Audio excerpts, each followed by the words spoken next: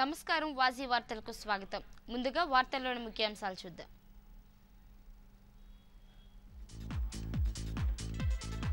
Minor బాలిక rape కేసులో నిందితుడు అరెస్ట్. మీడియా సమావేశంలో వెల్లడించిన ఎస్పీ పాలరాజు.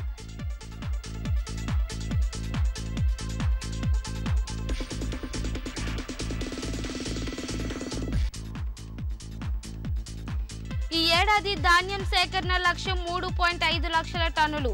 వాజీ న్యూస్కు వెల్లడించిన జాయింట్ కలెక్టర్ వెంకటరమణారెడ్డి.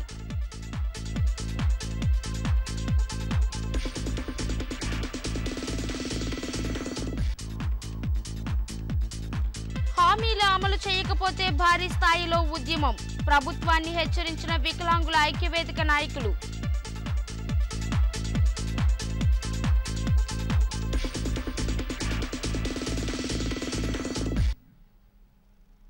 ఇప్పుడు వివరాలు చూద్దాం. ఎస్కోట పోలీస్ స్టేషన్ పరిధిలోని మైనర్ బాలిక మరణ కేసును మానభంగం కేసును పోలీసులు ఛేదించి నిందితుడిని అరెస్టు చేశారు. జిల్లా ఎస్పీ పాలరాజు ఈరోజు మీడియాకు ఈ కేసు వివరాలను వెల్లడించారు. నిందితుడు పాత నేరస్తుడేనని ఇప్పటికే నిందితుడిపై గంటేడ పోలీస్ స్టేషన్లో రౌడీ షీటు ఉందని నిందితుడిపై పీడీ యాక్టు ప్రయోగిస్తామని ఎస్పీ తెలియజేశారు. సీసీ ఫుటేజీల ఆధారంగా నిందితుడు గంధవరపు గోపిని పట్టుకున్నామన్నారు. నిందితుడిది గంట్యాడ మండలం పెంట శ్రీరాంపురం గ్రామమని. గంట్యాడ పోలీస్ స్టేషన్లో రెండు కేసులు. విజయనగరం పట్టణంలోని వన్ టౌన్ పిఎస్లో ఒక బైకు దొంగతనం కేసు. గుర్లా పిఎస్లో ఒక చైన్ స్నాచింగ్ కేసు ఉన్నాయని తెలిపారు. ఈ కేసును ఛేదించిన పోలీసులను ఎస్పీ ఈ సందర్భంగా అభినందించారు. ఈ మీడియా సమావేశంలో ఏఎస్పీ నరసింహారావు డిఎస్పీ సూర్యశ్రావణ్ కుమార్ తదితరులు పాల్గొన్నారు.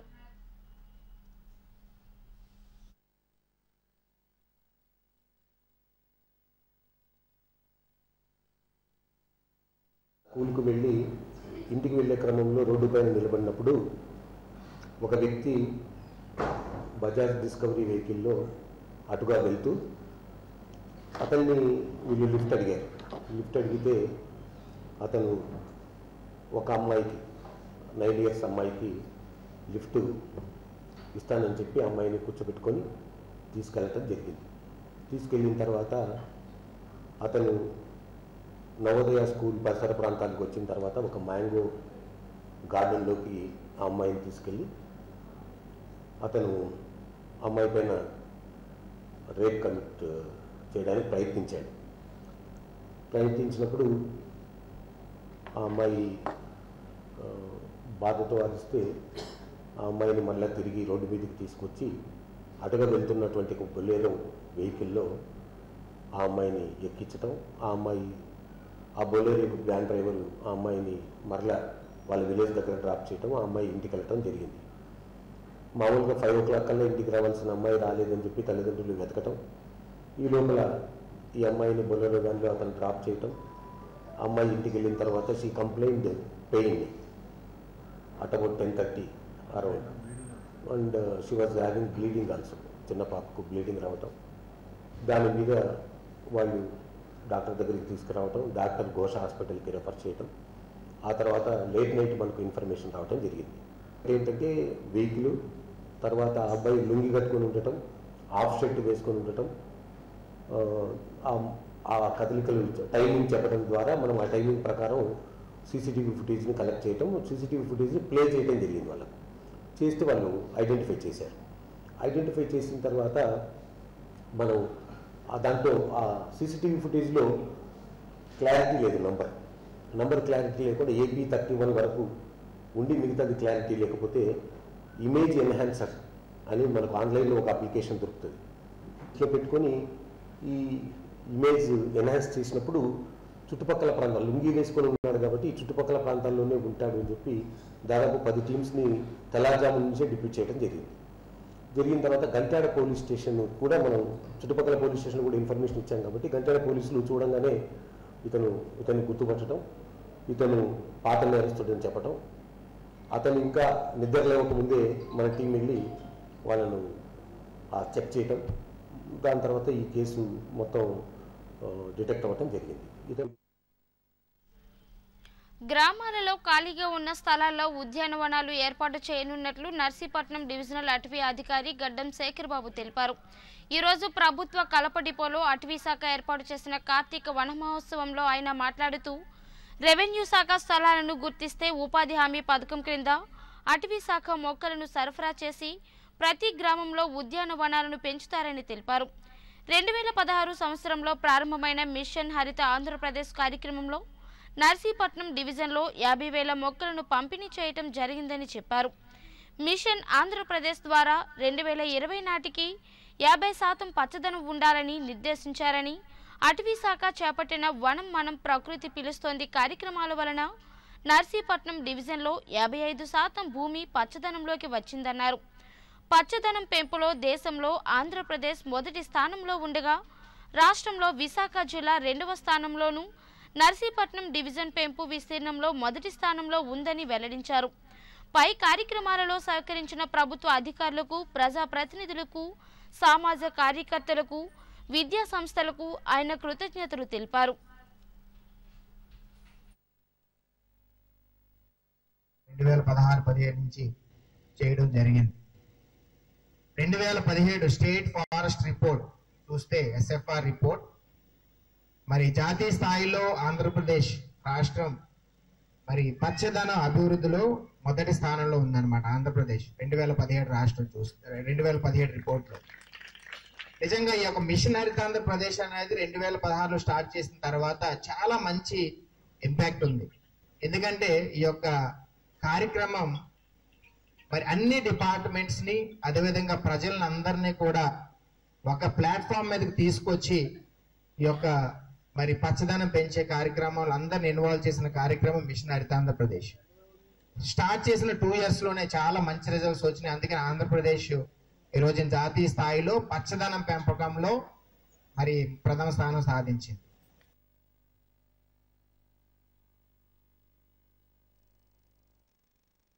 రోడ్డు ప్రమాదాలు నివారించడానికి తగిన చర్యలు తీసుకోవాలని జాయింట్ కలెక్టర్ వెంకటరమణారెడ్డి రవాణా శాఖ అధికారులు ట్రాఫిక్ పోలీసులకు ఆదేశాలు జారీ చేశారు.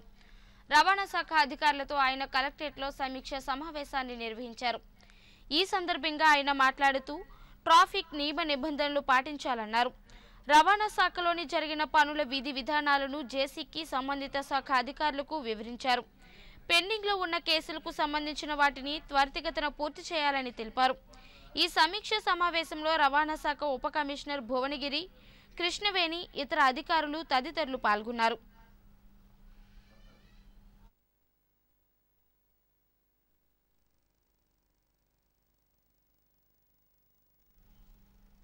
బాబు వస్తే జాబు వస్తుందని చెప్పిన తెలుగుదేశం ప్రభుత్వం ఇప్పుడు ఉన్న ఉపాధిని దూరం చేసి తమ పొట్ట కొట్టారని ప్రభుత్వానికి వ్యతిరేకంగా నినాదాలు చేశారు. భీమిలి పద్మనాభం ఆనందపురం మండలాలకు చెందిన సుమారు రెండు వందల మంది మహిళలు ఈ కార్యక్రమంలో పాల్గొన్నారు. బాబు వస్తే జాబు వస్తుందని చెప్పిన ప్రభుత్వం రాష్ట్ర వ్యాప్తంగా ఎనభై వేల మంది మధ్యాహ్న భోజన పథకం కార్మికులను నడి రోడ్డున పడేసిందని ఆవేదన వ్యక్తం చేశారు. న్యాయం కోసం పోరాటం చేసిన మహిళలపై కీచుకులుగా ప్రవర్తించిన అనకాపల్లి చోడవరం సిఐలను సస్పెండ్ చేయాలని ఈ సందర్భంగా డిమాండ్ చేశారు. పిల్లలకు రుచికరమైన తాజా భోజనం పెట్టిన తమను కాదని నేడు నవ ప్రయాస స్వచ్ఛంద సంస్థ అందించే నాసిరకం మరియు పాచిపోయిన ఆహారాన్ని ఎలా పెడతారని ఆవేదన వ్యక్తం చేశారు. తక్షణమే తమను విధుల్లోకి తీసుకుని కనీస వేతనం చెల్లించి తమకు ఉద్యోగ భద్రత పిల్లలకు నాణ్యమైన భోజనం అందివ్వాలని డిమాండ్ చేశారు. నేను మధ్యాహ్న భోజన పథకం భీమిలి మండల కార్యదర్శి నా పేరు రాజు. ఏదైతే మధ్యాహ్న భోజన పథకం శనివారం నుంచి ఈ రోజు వరకు మేము సమ్మె చేస్తామని ప్రెస్ మీట్ ఇచ్చాము. దాన్ని కొనసాగిస్తూ ఉన్నాము. అలాగే శనివారం నుంచి కూడా అవుతున్నాయి. శనివారం ఏదైతే నవప్రయాస షెడ్ ఉందో అక్కడ పెట్టాము. అక్కడ నూట అరవై మందిని భోగాపురం నియోజకవర్గం నుంచి వచ్చి మమ్మల్ని పోలీసులు అరెస్టులు చేశారు. ఆ అరెస్టుల్లో మేము అందరం అరెస్టులు అయ్యి భోగాపురం తీసుకెళ్ళి మమ్మల్ని అందరినీ పక్క పెట్టేసి నవప్రవేశుడు భోజనాన్ని స్కూళ్ళకి పంపించాడు. రెండు గంటలకి మూడు గంటలకి. తర్వాత సోమవారం కూడా మేము ఆనందపురంలో ఎంఆర్ఓ ఆఫీస్ని ఎంయూ ఆఫీస్ని ముట్టడి చేసాము అలాగే బుధవారం కూడా అలాగే పద్మనాభం ఎంయూ ఆఫీస్ని ముట్టడి చేసాము అలాగే ఏమై ఇప్పుడు ఈ రోజుటి నుంచి మేము మూడు రోజులుగా నిరహార దీక్షలు కొనసాగిస్తూ ఉంటాం. రియల్ నిర్ధ నిర్హార దీక్షలు మూడు రోజులు మన ఎంయూ ఆఫీస్ దగ్గర. అలాగే ఈ భీమిలి మండలంలో రెండు వందల నలభై మంది మధ్యాహ్న భోజన పథకం నిర్వాహకులు ఉన్నారు. ఈ రెండు వందల నలభై మంది మధ్యాహ్న భోజన పథకం నిర్వాహకులతో మేము మూడు రోజులు రియల్ నిర్వా నిరహార దీక్షలు నిర్వహించబడుతున్నాం. అలాగే ఏదైతే ఉందో మా మధ్యాహ్న భోజన పథకంపై ఈ పోలీసులు లాఠీ చార్జీలు చేసి ఆడవాళ్ళని చూడకుండా పిడిగుద్దులు గుద్ది చోడవరంలో పదహారు మందిని అరెస్టులు చేసి అక్రమ వంటలు చేస్తున్నాము. ఆ నిర్వాహకులకు అందరికీ పని భద్రత కల్పించాలి. వాళ్ళే మళ్ళీ వండి పెట్టినట్టు మాకు కేవలం కనీస వేతనం ఎనిమిది వేల రూపాయలైనా ఇప్పించినట్టు ప్రభుత్వం చేయాలి. అలా చేయకపోతే మేము ఎంతవరకైనా పోరాడతామని ప్రభుత్వానికి చెప్తున్నాం. ఎస్కూట నియోజకవర్గ పరిధిలోని మైనర్ బాలికపై జరిగిన అత్యాచార ఘటనను తీవ్రంగా ఖండిస్తున్నామని జనసేన పార్టీ మహిళా నాయకురాలు లక్ష్మీరాజ్యం ఆరోపించారు. గోసాసుపత్రిలోని చికిత్స పొందుతున్న మైనర్ బాలికను పరామర్శించడానికి జనసేన నాయకులు వెళ్ళారు. ఈ సందర్భంగా లక్ష్మీరాజ్యం మాట్లాడుతూ మహిళలకు రక్షణ కరువైందని మండిపడ్డారు. బాలికలపై ఇంత అఘాయిత్యం జరగటం ఎంతో దారుణమన్నారు. పోలీసులు రక్షణ కల్పించాలని మైనర్ బాలిక కుటుంబానికి ఆర్థిక సహాయం చేసి ప్రభుత్వం ఆదుకోవాలని కోరారు. బాధితురాలు కుటుంబానికి ఎవరో ఒకరికి ఉపాధిని కల్పించే ఉద్యోగం అందించాలని డిమాండ్ చేశారు.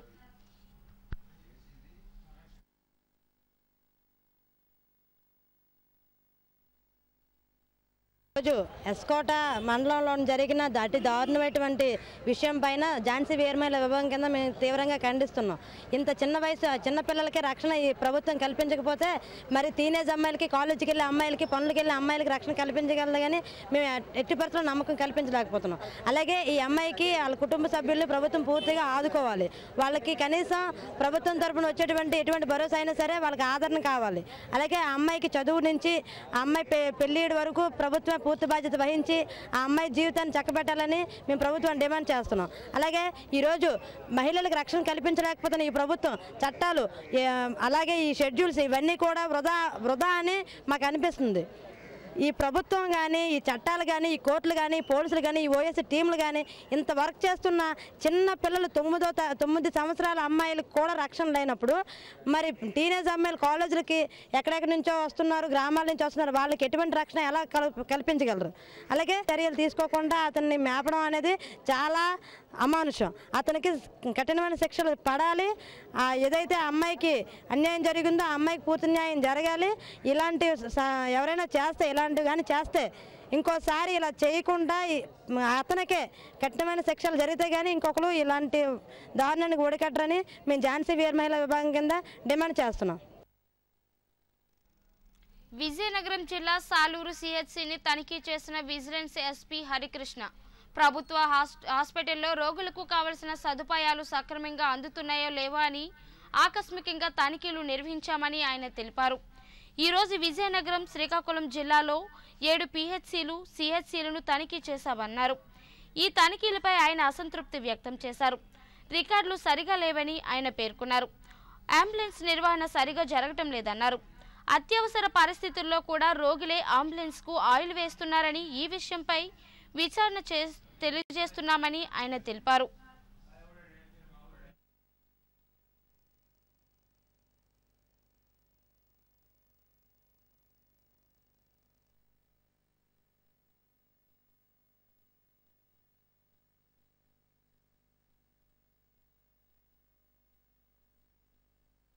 ఆఫీసర్గా నేను మా యూనిట్ నుంచి శ్రీకాకుళం అండ్ విజయనగరం రెండు జిల్లాల్లో కూడా ఈరోజు ఒక సుమారు ఏడు పిహెచ్సిల్ని ఆకస్మిక తనిఖీ చేయడం ప్రారంభించాం. ఈ తనిఖీ వన్ థర్టీ నుంచి స్టార్ట్ అయింది. ఈ జిల్లాలో ముఖ్యంగా విజయనగరం జిల్లాలో సాలూరు రామభద్రపురం అండ్ కొమరాడ ఈ మూడు ప్రాంతాల్లో కూడా ఈ విజయనగరం జిల్లాలో తనిఖీ జరుగుతోంది పిహెచ్సిల్లో అదేవిధంగా లైసెన్స్ యొక్క మెయింటెనెన్స్ కానీ దాంట్లో కూడా ఒక సిస్టమ్ కనపట్టలేదు అదేవిధంగా అంబులెన్స్ సేవలు అనేవి ఇప్పుడు పి పిఓ ఐటీడీఏ పరిధిలో ఉండేటువంటి అంబులెన్స్ సేవలు చూద్దాం. ఇప్పుడు ఇదే సాలూరు పిహెచ్సిలో సిహెచ్సిలో అంబులెన్స్ ఉంది. ఈ అంబులెన్స్కి నెలకి ఒక పదివేల రూపాయల చొప్పున గవర్నమెంట్ ఒక ఆర్డర్స్ కూడా ఉన్నాయి ఫ్యూయల్ ఛార్జెస్ ఇవ్వాలని. ఈ ఫ్యూయల్ ఛార్జెస్ ఆ అంబులెన్స్కి ఇచ్చినట్టయితే ఈ అంబులెన్స్ తిరగడానికి అవకాశం ఉంది. కానీ ఈ అంబులెన్స్ ఫ్యూయల్ లేదు అనే నెపం జరుగుతున్నది ఏంటంటే రోగులు వాళ్ళు ఎవరైతే విక్టిమ్స్ వచ్చారో ఆ యొక్క పేషెంట్స్ మనీ పెట్టుకొని హెడ్ క్వార్టర్ హాస్పిటల్కి రిఫర్ చేసేటప్పుడు వెళ్ళాల్సి వస్తుంది. యాక్చువల్గా గవర్నమెంట్ స్కీమ్ ఏంటి? దీనికి ఒక బడ్జెట్గా అలర్ట్ అయింది. అలర్ట్ అయిన బడ్జెట్ ఇక్కడికి చేరిందా అనే దాంట్లో ఇప్పుడు పరిశీలన చేయాల్సిన అవసరం ఏర్పడింది. ఇందుకు ఇక్కడ బాధితుల నుంచి అడిగితే మనకు తెలిసిందేంటి అయ్యా మేము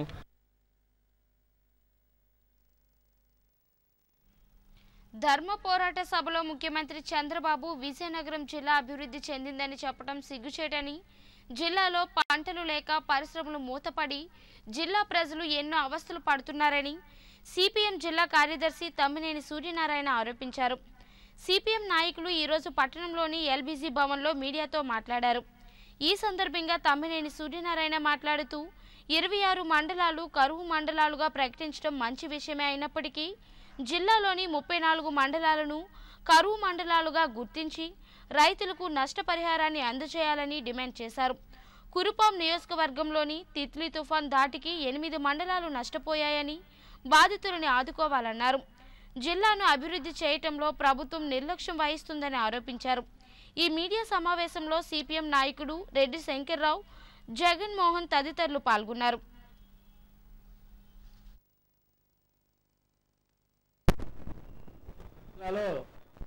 చంద్రబాబు నాయుడు గారు ధర్మ పోరాట దీక్ష పెట్టారు.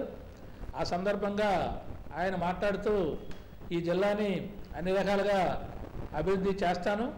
ఇప్పటికే రాష్ట్రంలో పది పాయింట్ ఐదు శాతం అభివృద్ధి ఉంటే విజయనగరం జిల్లా పదకొండు పాయింట్ ఏడు శాతం అభివృద్ధి చెందిందని చెప్పేసి పత్రికాముఖంగా సభాముఖంగా చెప్పడం చాలా అన్యాయం.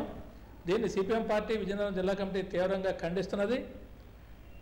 మొత్తం రాష్ట్రంలోనే అన్నిటికంటే అన్నింట్లోనూ అభివృద్ధిలో వెనకబడి ఉంది విజయనగరం జిల్లా. మరి ఈ మధ్యకాలంలో అభివృద్ధికి సంబంధించిన యాక్టివిటీ ఏం చేశారో చెప్పాలి. ఈరోజు నీటి కొరత తీవ్రంగా ఉన్నది. విజయనగరం పట్టణానికి తాగునీరు కొరత తీవ్రంగా ఉన్నది. పంటల పండగ తాటిపూడి నీరు విశాఖపట్నం పోతుంటే ఆ నీరు ఇక్కడ రైతులకు ఇవ్వకుండా ఈ ప్రభుత్వం ఏ చర్యలు తీసుకోకుండా వందలాది ఎకరాలు బుగ్గుపాలైంది. ఆ రకంగా రైతాంగం నష్టపోయింది. ప్రజలు నష్టపోయారు.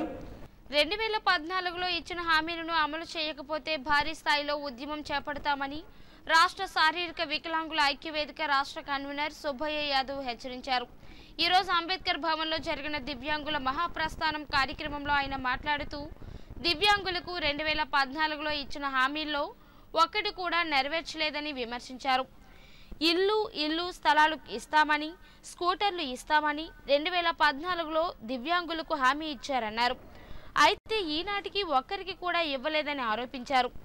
దివ్యాంగుల సంక్షేమానికి కేటాయించిన పద్నాలుగు కోట్లు ఏమయ్యాయో అర్థం కావటం లేదన్నారు. కనీసం ఇప్పటికైనా ప్రభుత్వం స్పందించి దివ్యాంగులకు ఇచ్చిన హామీలు అమలు చేయాలని డిమాండ్ చేశారు.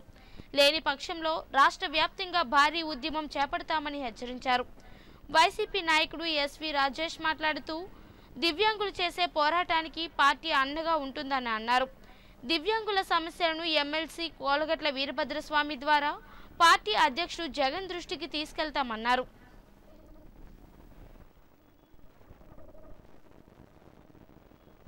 దివ్యాంగుల మహాప్రస్థానం సభకి వైఎస్ఆర్ కాంగ్రెస్ పార్టీ తరఫున మమ్మల్ని పిలిచి వాళ్ళ సమస్యలు తెలియచేస్తూ ఆ సమస్యల్లో మమ్మల్ని కూడా పాలు పంచుకోమని చెప్పడం మరి ఆ సమస్యల మీద మేము కూడా పోరాటం చేస్తామని మా ప్రీతమ నాయకులు కోలగట్ల వీరభద్ర స్వామి గారి దృష్టిలో ఈ సమస్యలు పెట్టి మరి రాష్ట్ర అధ్యక్షులు జగన్మోహన్ రెడ్డి గారి దృష్టిలో కూడా ఈ సమస్యలు పెట్టి రానున్న రోజుల్లో దివ్యాంగులకి జరుగుతున్న అన్యాయము దివ్యాంగుల కోసం కార్యక్రమాలు రూపొందించి దానికి తగు కార్యక్రమాలు చేపడతామని తెలియచేసుకుంటూ ఏ సమస్య ఉన్నా సరే వాళ్ళతో పాటు మేము కూడా కలిసి పోరాడతామని ఈ సందర్భంలో తెలియజేసుకుంటాం మాకు రెండు వేల పద్నాలుగు ఇచ్చిన డిమాండ్లను ఒకటంటే ఒకటి కూడా నెరవేర్చిన ఈ ప్రభుత్వాన్ని గద్దె దింపే రోజులు దగ్గర పడుతున్నాయనేది కూడా మేము డిమాండ్ చేస్తూ ఉన్నాం. వాళ్ళు రెండు వేల పద్నాలుగు నుంచి రెండు వేల పద్నాలుగు నుంచి పద్దెనిమిది వరకు ఇచ్చిన ప్రపంచ వికలాంగుల దినోత్సవం రోజు నుంచి హామీలు ఇచ్చడం జరిగింది. కానీ ఒక్కటంటే ఒకటి కూడా నెరవేర్చిన ఈ పాపను పోలేదు ఎందుకంటే ప్రతి జిల్లాలో కూడా ఓమ్స్ ఏర్పాటు చేస్తామని చెప్పారు. ఇంతవరకు కూడా ఒక్కటి కూడా ఓమ్స్ ఏర్పాటు చేయలేదు. అలాగే ఇంటి ప్రతి ఒక్క జిల్లాల్లో కూడా వికలాంగులకి ఇంటి స్థలాలు కేటాయిస్తే ఇల్లు ఇస్తామని చెప్పడం జరిగింది. ఇంతవరకు ఒక్కరికంటే ఒకరికి కూడా ఇవ్వడం లేదు. వికలాంగులకు ప్రతి ఒక్కరికి కూడా ఈ స్కూటర్లు ఏర్పాటు చేస్తామని చెప్పినారు. ఇంతవరకు కూడా ఒకరికి కూడా అంటే ఒకరికి ఇవ్వడం లేదు. పద్నాలుగు కోట్ల బడ్జెట్ కేటాయించినారు. ఇంతవరకు ఆ డబ్బులు ఎక్కడున్నది కూడా ఇంతవరకు ఈ ప్రభుత్వం జవాబు చెప్పిన పాపన పోలేదు. అలాగే జిల్లాల్లో కూడా ప్రతి ఒక్కరికి చదువుకున్న విద్యార్థులు లక్షలాది మంది ఉన్నారు. వాళ్ళందరికీ జి- ప్రతి ఒక్క జిల్లాలో కూడా హోమ్స్ ఏర్పాటు చేస్తామని చెప్పినారు కానీ ఇంతవరకు కూడా ఏర్పాటు చేయలేదు. అలా ఈ ఏడాది మూడు పాయింట్ ఐదు లక్షల టన్నుల ధాన్యం సేకరణను లక్ష్యంగా నిర్దేశించుకున్నామని జిల్లా జాయింట్ కలెక్టర్ వెంకటరమణారెడ్డి చెప్పారు. ఈరోజు ఆయన తన కార్యాలయంలో వాజీ న్యూస్తో మాట్లాడుతూ ధాన్యం సేకరణకు జిల్లా వ్యాప్తంగా నూట డెబ్బై ఒక్క కేంద్రాలను ఏర్పాటు చేస్తున్నామన్నారు. అవసరమైతే ధాన్యం సేకరణ కేంద్రాలను మరిన్ని పెంచుతామన్నారు. గత ఏడాది సరిపడా గోడౌన్లు లేకపోవటం వల్ల నిర్దేశించిన లక్ష్యాన్ని చేరుకోలేకపోయామన్నారు. అయితే గత ఏడాది అనుభవాలను దృష్టిలో ఉంచుకుని ఈ ఏడాది ఎలాంటి పొరపాట్లు ఇబ్బంది రాకుండా అవసరమైన అన్ని జాగ్రత్తలు తీసుకుంటున్నామని పేర్కొన్నారు. ఆశించిన మేరకు వర్షాలు లేకపోవటం వలన ఈ ఏడాది ధాన్యం సేకరణ లక్ష్యాన్ని కుదించామన్నారు. ధాన్యాన్ని సేకరణ కేంద్రాలకు కాకుండా నేరుగా మిల్లులకు పంపుతున్న సంఘటనలు పునరావృతం కాకుండా నిఘా ఏర్పాటు చేస్తున్నామన్నారు. ధాన్యం సేకరణ కేవలం నిర్దేశించిన కేంద్రాల్లోనే జరగాలని నేరుగా మిల్లులకు పంపకూడదని స్పష్టం చేశారు. ఇలా జరగకుండా ఉండేందుకు ఎప్పటికప్పుడు తనిఖీలు నిర్వహించి ఆదేశాలు ఉల్లంఘించిన వారిపై కఠిన చర్యలు తీసుకుంటామని హెచ్చరించారు.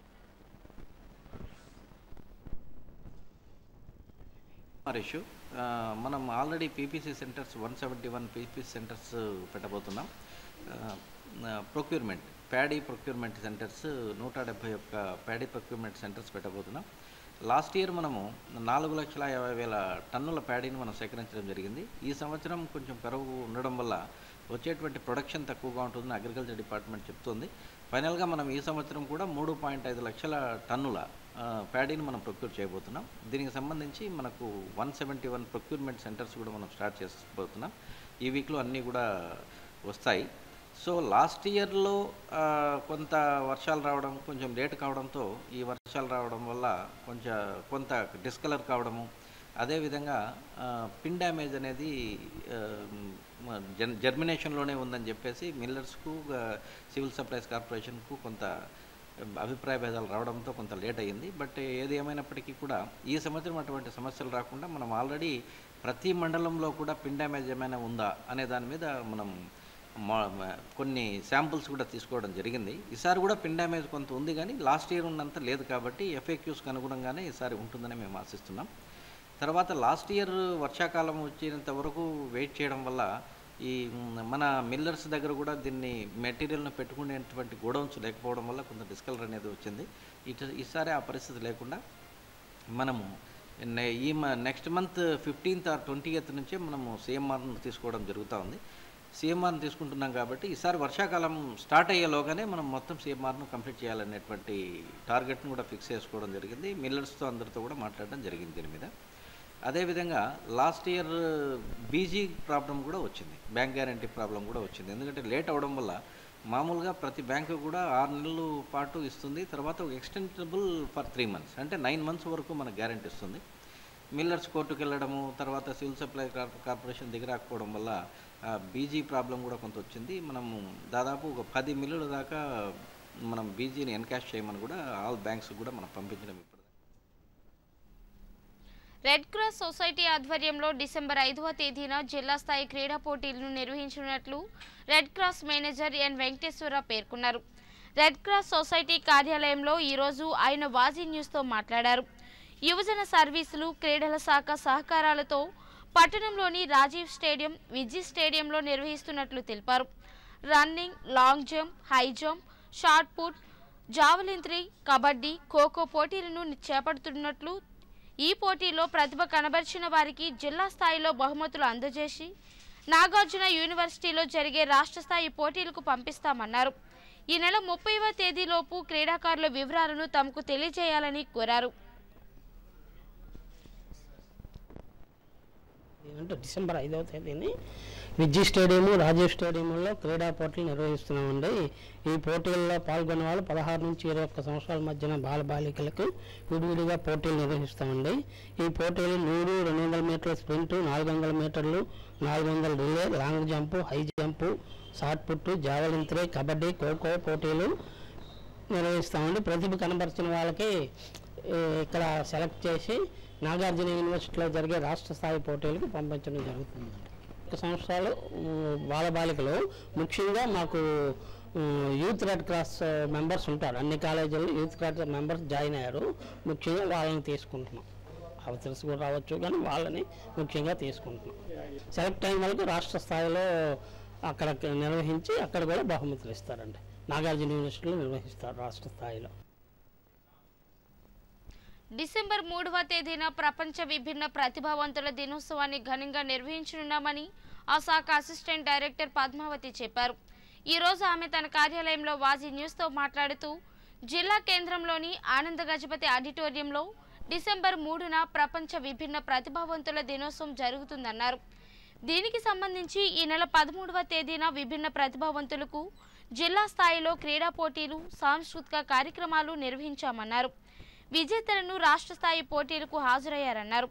ఈ క్రీడా పోటీలు సాంస్కృతిక కార్యక్రమాల్లో విజేతలకు డిసెంబర్ మూడున జరిగే కార్యక్రమంలో బహుమతులు ప్రశంసాపత్రం అందజేస్తామన్నారు.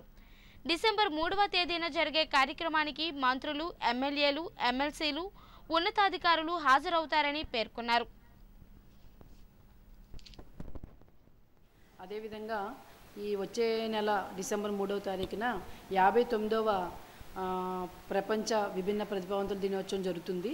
దీన్ని మనం విజయనగరం నందు గల గజపతి ఆడిటోరియంలో మేము దాన్ని వేడుకలు నిర్వహిస్తామండి.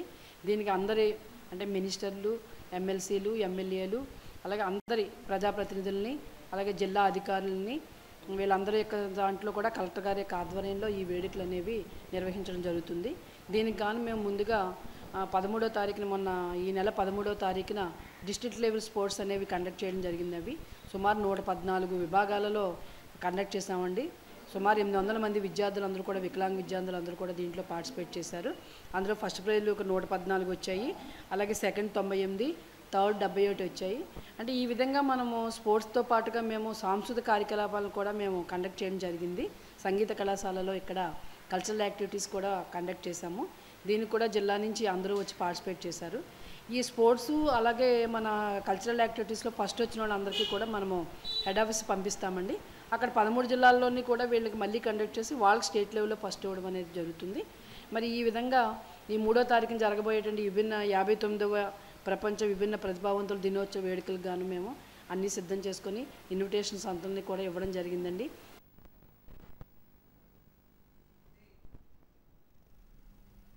డిసెంబర్ రెండవ తేదీన తూర్పు కాపు సామాజిక వేదిక ఆత్మీయ కలయిక కార్యక్రమాన్ని నిర్వహిస్తున్నామని సామాజిక వేదిక ప్రతినిధి మధ్య అప్పారావు చెప్పారు.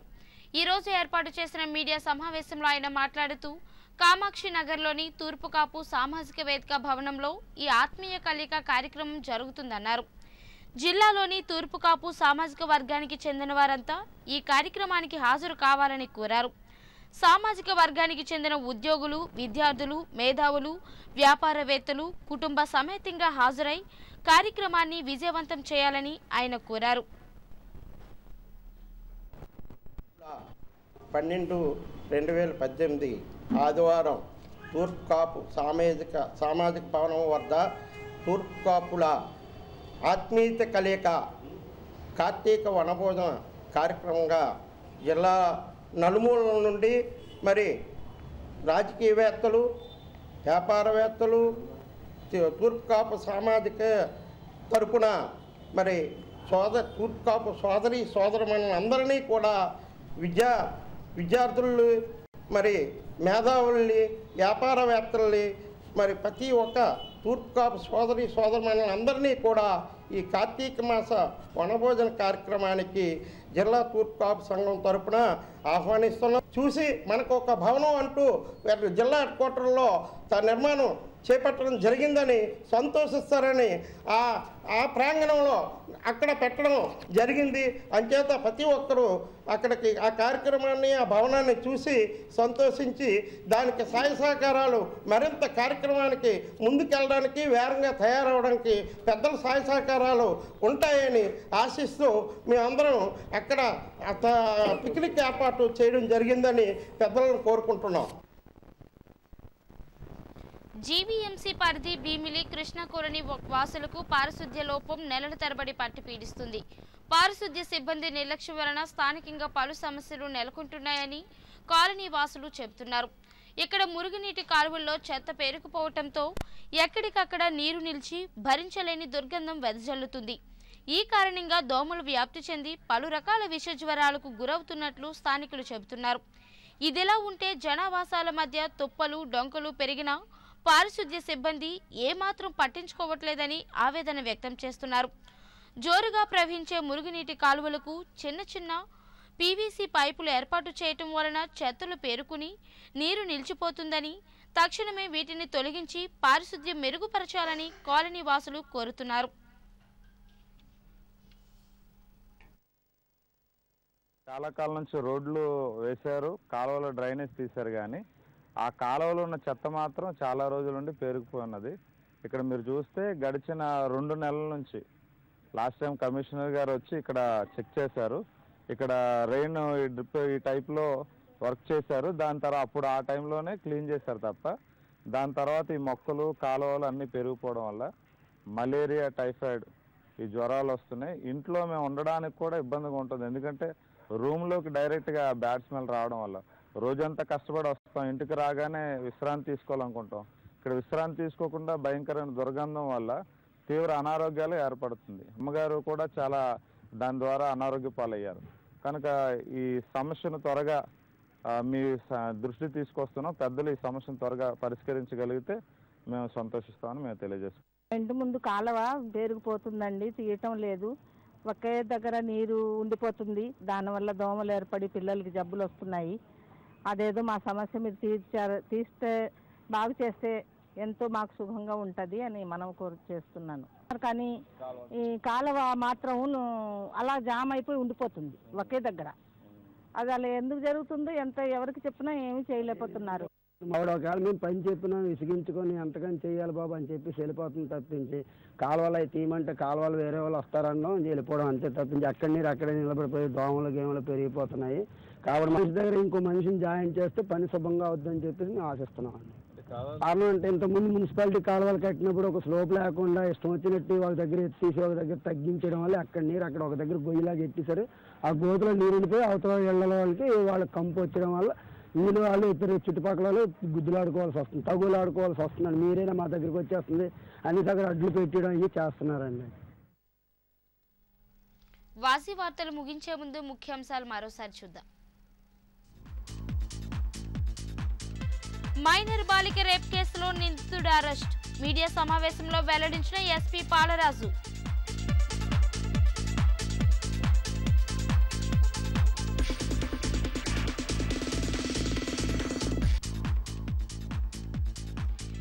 ఏడాది ధాన్యం సేకరణ లక్ష్యం మూడు పాయింట్ ఐదు లక్షల టన్నులు. వాజీ న్యూస్కు వెల్లడించిన జాయింట్ కలెక్టర్ వెంకటరమణారెడ్డి.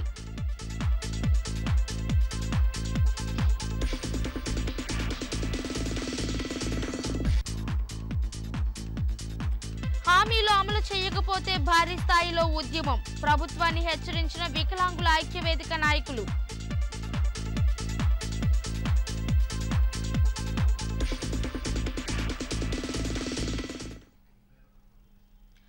కాశీ వార్తలు ఇంతటితో సమాప్తం. నమస్కారం.